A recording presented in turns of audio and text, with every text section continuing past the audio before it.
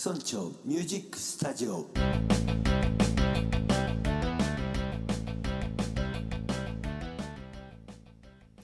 はい、皆さんこんにちは、村長です。えー久しぶりのですね、えーっと、うんま、講座というかあ動画作りなんですけれども、お今日はですね、案外あの手軽な金額で、えー手に入るですね、あーインプリントとう、うまあ、あの日本語に直すと印象とでも言うんでしょうか、えーそういうね、印象感が、えーを少し変えれるようなトランジェットシェイパーという分野に入ると思いますが、まあなんかあの、えーと使い方をやってみるとですね、えーなんとなくイコライザー、えーよく聞くイコライザーみたいなね、えーとっても分かりやすいインターフェースです。えーちょっと今真ん中に画面さしてますけれども、今、えっとバイパスしてますので、えこれでちょっと聞いてみましょう。アコースティックギターです。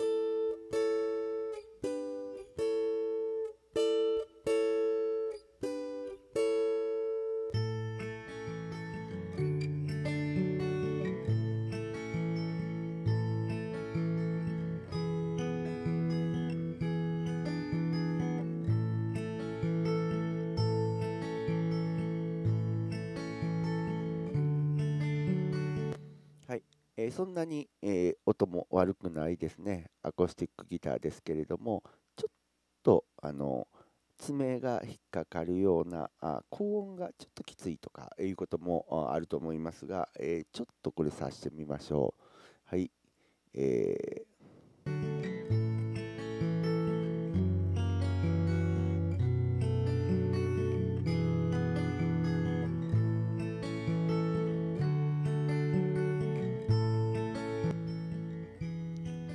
今ガタンと高音が落ちましたね。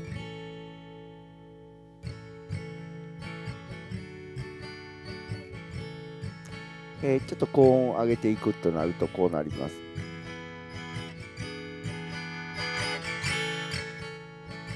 すごくよく聞くイコライザーのようなものですね。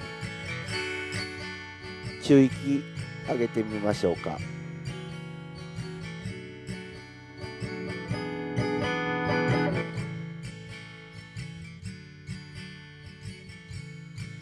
えーアコースティックギターっていうのはこの中域が大事なんですけども中域を下げると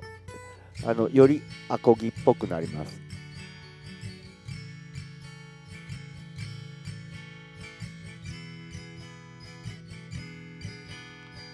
で低音をですねちょっとベースを上げます。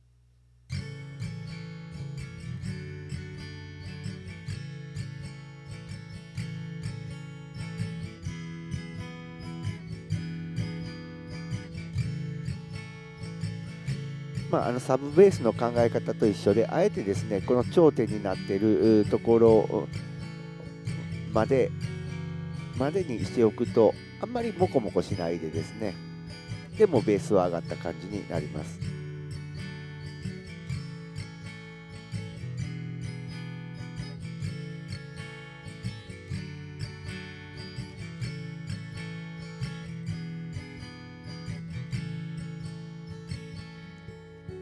はい。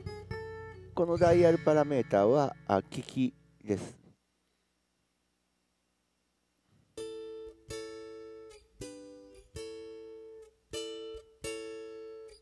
こっち上げるとお高音がしっかり効きますね。こうなると柔らかい、えーまあ、高音ですから高音のところをやってるわけですから明瞭感があ出てきます。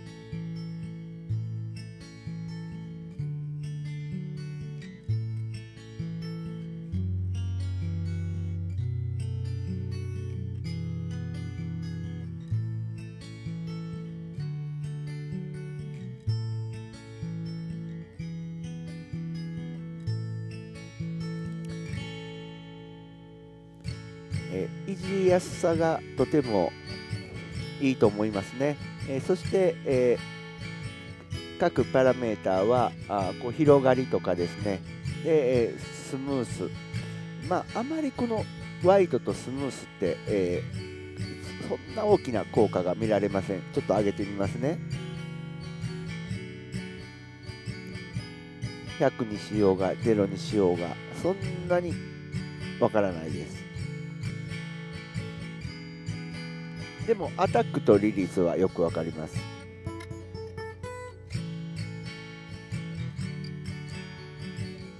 アタック大きめにするとちょっと角がなくなったような印象があります。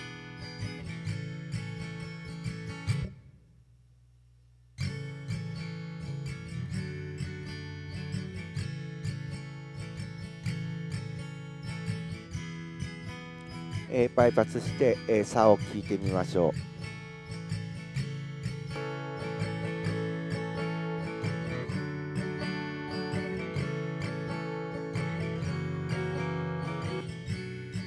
大きく印象変わりましたね、えー、好みはあると思いますけれども、えー、すごく、えー、効果的なあトランジェットシェーパーだと思います。えーえ私はですね、えっと、